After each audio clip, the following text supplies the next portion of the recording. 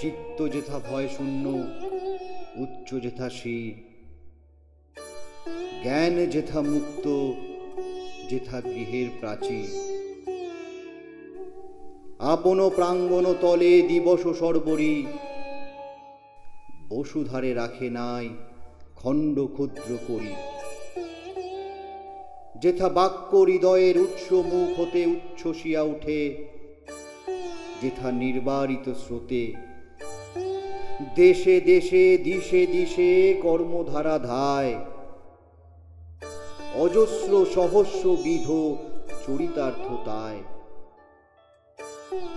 যেথা তুচ্ছ আচারের মরু বালু রাশি